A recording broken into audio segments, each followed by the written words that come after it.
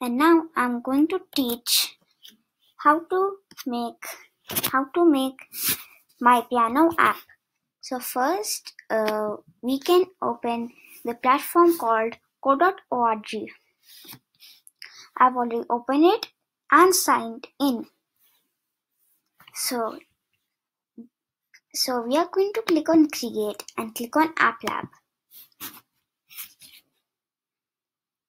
so now we'll wait till it loads. And now here we have three partitions code design and data. This this mobile screen is called the run screen. And the blocks over here uh, is called the are called the blocks. And this is called the workspace so in the three partitions code design and data we are going to click on design.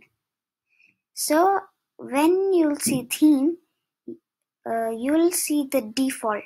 So click on the drop down and then we can choose any theme we like. And I'm going to choose the polar so the uh, ID of the screen one we can change so now we are going to take button and change its and the uh, we are going to change the ID to note A. And the text we are going to put it as nothing. Why are we going to keep the ID as note A? Because in coding it will help a lot. So now the width we are going to keep it as at least uh, 74 to keep it thin and the height oh,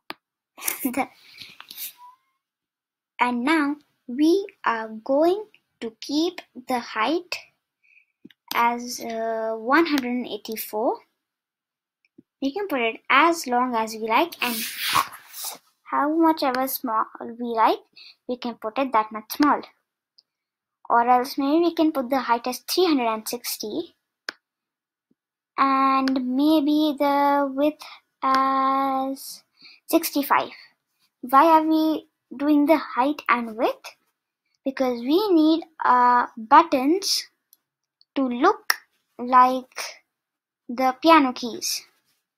So now we are going to take uh, another button or else after the ID on a few distance we'll see delete and duplicate. So we are going to click on duplicate. So now we have the same height and width and the same color. Another key we have got. And again we are going to duplicate it and keep it right beside on the right side and again duplicate.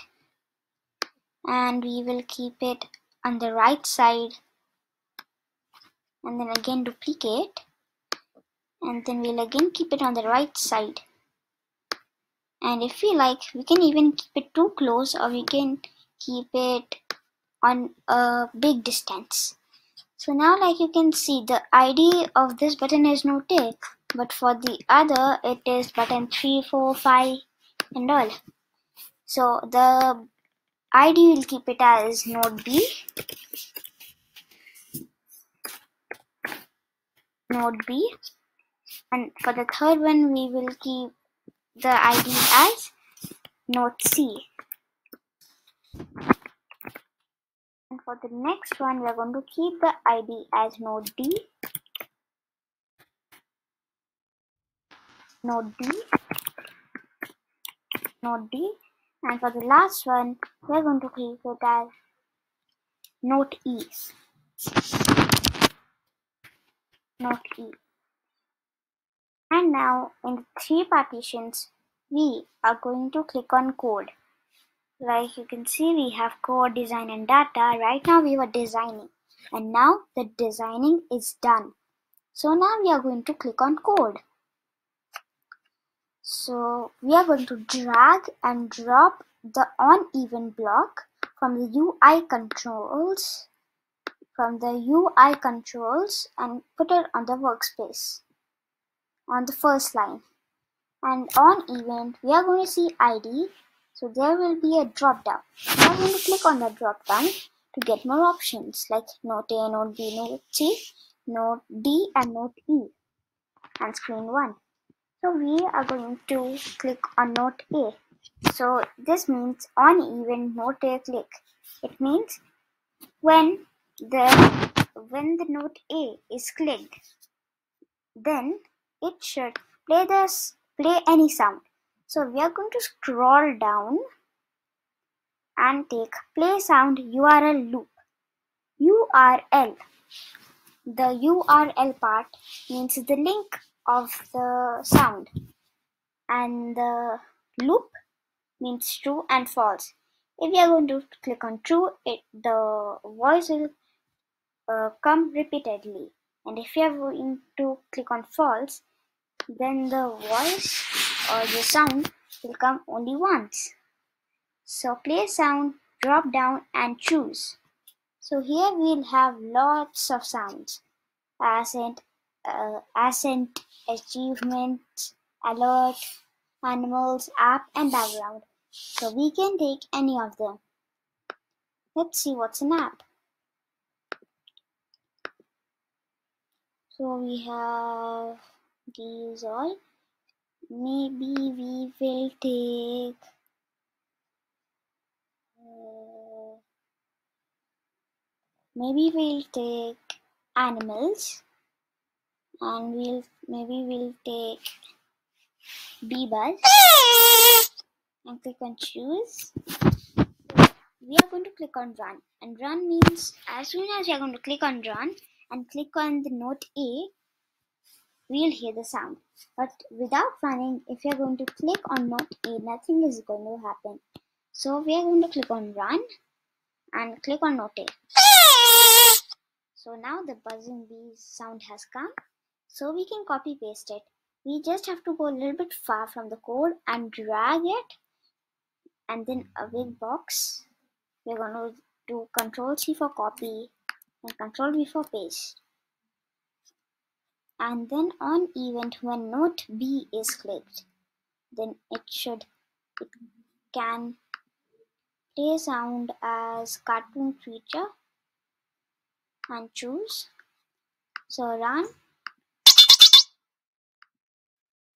Now again we will copy control C for copy, control V for paste so now when note C is clicked and for the other one when note D is clicked, play sound choose and animals, mm, maybe cat,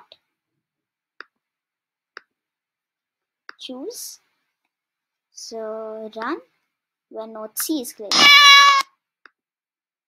On event note D is clicked, then it should can play sound as dinosaur D for dinosaur and then we will copy paste again.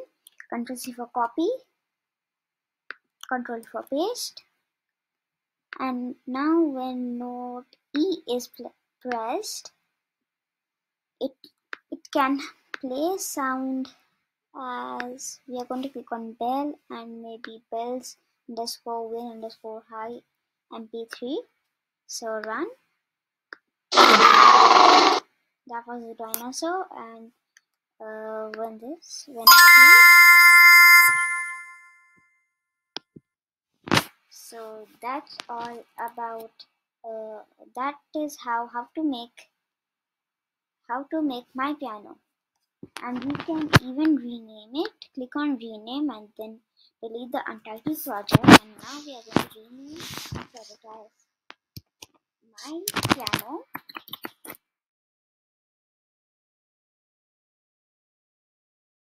my piano. By your name.